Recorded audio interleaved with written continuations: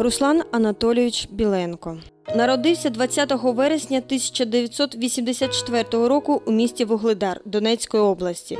У 2007-му переїхав на Херсонщину в село Ліві Солонці Цюрюпинського району. Військовослужбовець 28-ї окремої механізованої бригади. 12 листопада 2014 року загинув під час обстрілу колони поблизу Донецького аеропорту.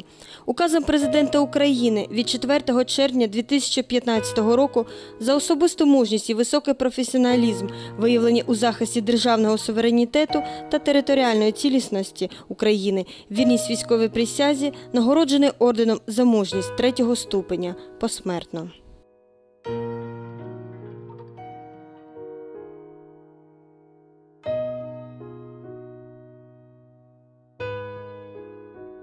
Чорна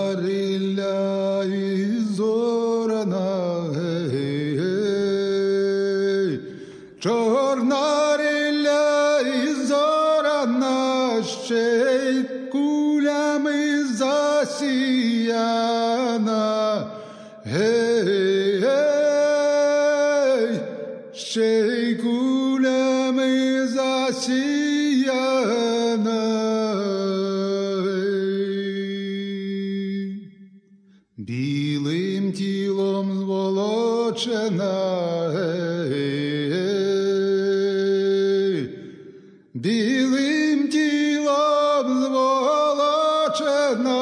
Й кров'ю сполощена,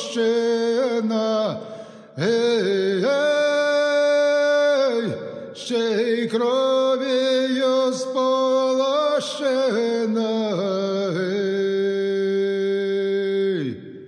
Лежить козак на купині,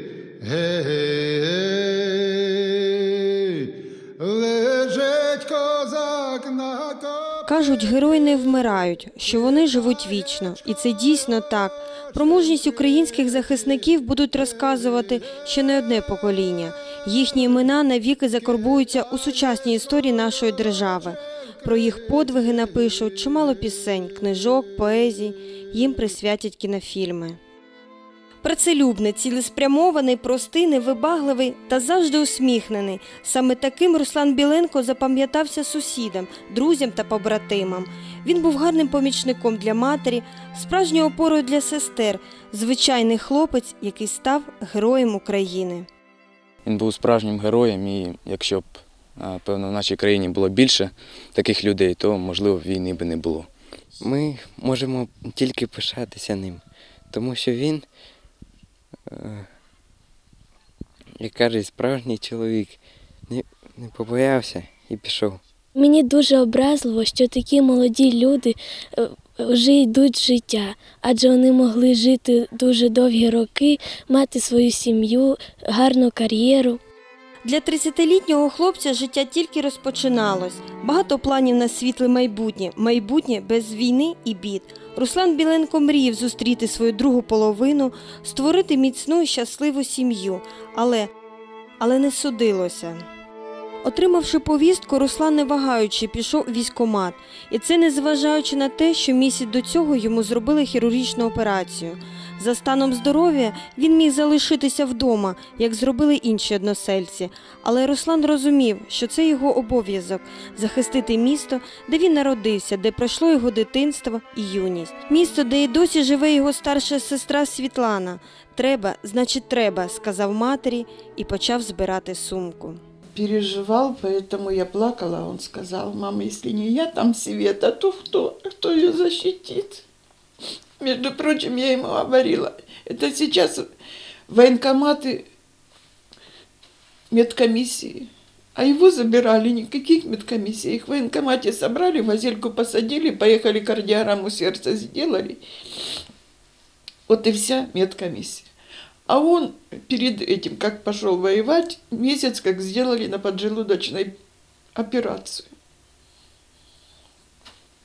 Мы ж могли настоять, сделать ну, медкомиссию, тем более поджелудочная. А он сказал нет. Ну, нам пришло на село 31 повестка, пошел один он. У каждого причины, у каждого это все. А он мне сказал, там Света, там я родился. Не ховався Руслан від військомату, не міг він сидіти вдома, не зупинили його ні сльози, ні благання матері. Не зрозуміли його вчинку і односельці, відмовляли і казали воно тобі треба, не йди. Я їду в газельки, їхала, мені говорили, ти не мать.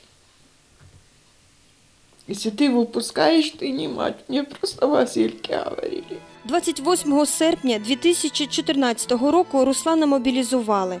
Навчання проходили на полігоні Широкий Лан у Миколаївській області. Саме там Неля Савелівна свого сина бачила востаннє. Він все благав матір не хвилюватися і казав, що неодмінно все буде добре. І тисячі разів повторював: Мам, хто як не я? Через місяць був відряджений у зону проведення антитерористичної операції міста Курахово Донецької області, туди, де народився, вчився і проходив строкову службу. Більше ніж 10 років тому Руслан повернувся бійцем 28-ї окремої механізованої бригади. А он попал туда именно, где все близко, где ро- родились. Когда он попал, я говорю, ты где? Он говорит, дома Где дома? Мам, ну что ты не понимаешь? Дома. Ну там типа рядом с Угледаром, с этой стороны. Не с той стороны Донецка, где вот Дебальцево все, а вот с этой, говорит, дома. Почалися довгі тривожні дні і безсонні ночі. Мати плакала і молилась, з острахом переглядала телевізійні новини, аби дізнатися про події на сході України. Руслан щодня телефонував мамі. Розмови, хоча були й короткі, але навіть декілька секунд чути голос рідної дитини було за щастя. Не любив розповідати подробиці, говорить жінка. Лише заспокоював і казав, що все нормально, і день пройшов спокійно. Звісно, всієї правди не розказував. Он все время меня успокаивал, я никогда не думала. Но на выезде он мне давал понятие. Я, не, я даже, как вам сказать, даже не представляла, что такое выезд и куда они ездят. А они ж минометчики, они, у них вот база, а они, оказывается, это потом уже приезжали ж оттуда, объяснили, где надо помощь, туда они ездили. Это считалось выезд. Не зізнавався у своїх справжніх відчуттях та переживаннях, не розказував і про труднощі, і побут, і про своє здоров'я, яке у польових умовах погіршувалося. Операція на підшлунковій далася в знаки, адже необхідно було постійно сидіти на дієті і приймати ліки, яких теж не було. На еду он не жаловался, но жаловался то, что это еда после операции не для поджелудочной. Поджелудочная надо строгая диета. Руслан з побратимами постійно були на виїздах, переміщувалися з одного пункту в інший. Це і Мар'їнка, і Красногорівка, і Піски. Місця, які так знайомі з Малку і такі рідні. Я, например, никогда не думала, что они ездят в аэропорт. Он ни намеком не давал, что он. А база у них в Красногоровке. Он всегда говорил, мам, если придется отступать, вот как Дебальцево, это ребята не знали, куда идти, много же из-за этого и погибло. Я здесь каждую кочку знаю. Но отступать ему не пришлось. 12 листопада 2014 року поблизу Донецького аеропорту військові поверталися з бойового завдання і потрапили в засідку. Машину обстріляли, загинуло два бійця. Серед них був і Руслан Біленко. Загинув від кулі снайпера за 30 кілометрів від свого рідного міста Вугледар. В тот день и была бегущая строчка, и по новостям, я же ни одни новости не пропускала, говорили, попали в засаду, что столько э, погибло. Но вы знаете, у меня сердце даже не дрогнуло. Оно не почувствовало. А это они говорили по новостям. Село все знало, что он погиб, я не знала. Председатель сельсовета с наших, с левых Солонцов, он там в начале улицы жи- живет. Вот. У них тут родня через одно, все знали. А решили мне до утра не говорить. А утром собака загавкала, я вышла, увидела две машины. Стоял председатель сельсовета и с военкомата, я все поняла. Просто так они не приедут. 18 листопада ліві солонці прощалися з Русланом. В останню путь герої проводжали усім селом. Ніхто не зміг стримати сліз. Плакали всі, і той, хто знав героя, і той, хто особисто не був знайомий з ним. Ну, настоящий патриот, не настоящий патриот, настоящий в свои 30 лет его мужское начало состоялось, и он не, э, не боялся, прибыл по повестке, убыл, проходил службу. Ну, и умер как, как герой, и тут геройством, э, может быть, это модное слово, но реально как, э, как мужчина, как любой мужчина, который сейчас проходит службу или выполняет обязанности служебные. Материнське серце відмовляється вірити, що син загинув, що він більше не переступить поріг рідної хати і вже ніколи не скаже Мамо. Залишилися тільки спогади і світлини, світлини, на яких щасливі усміхнені обличчя родини Біленків. Ось вони у колі сім'ї. Тут зовсім маленький. На цій він з мамою, а ось тут зі старшою сестрою. Знімок, який зроблений під час останньої зустрічі Світлани і Руслана. Розглядаючи фотографії, жінка зізнається, що їх в альбомі дуже мало, бо не любив він фотографуватися. Минуло вже більше року, а говорити про свого сина Нелі Савелівні ще й досі нелегко. Зі сльозами на очах і переводячи подих, вона згадує його дитинства, кожен його подарунок. Он был, ну как вам сказать, он такой упертый. Любил на своем настоять. Вот так он, с характером. Но жалостливый. Вот э, как вот, когда вечеря носит, он бывало, ну, соберет деньги, он их на себя не потратит. Он старался мне вот до сих пор у меня терка там вот пластмассовая, то еще тереть, что-нибудь такое купить вот, домой маме. У березні 2015-го на головній вулиці села Херсонські автомайданівці разом з місцевими жителями встановили меморіальну дошку загиблому Руслану Біленку. Нині він мовчки дивиться на усіх з портрета.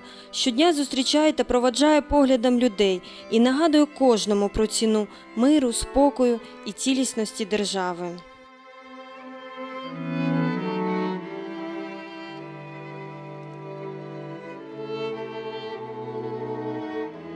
4 червня 2015 року указом президента України за особисту мужність і високий професіоналізм, виявлені у захисті державного суверенітету та територіальної цілісності України, вірність військовій присязі, Руслан Біленко нагороджений орденом за мужність третього ступеня посмертно.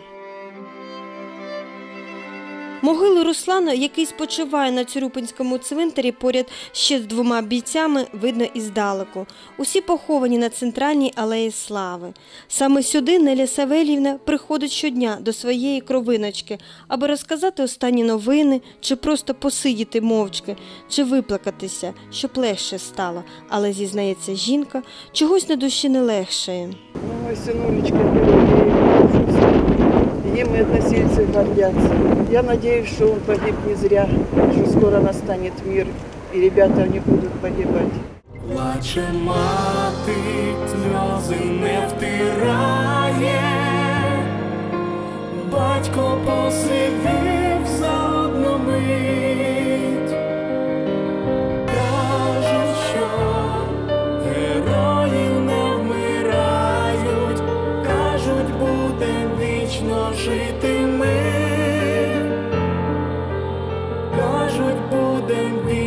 жити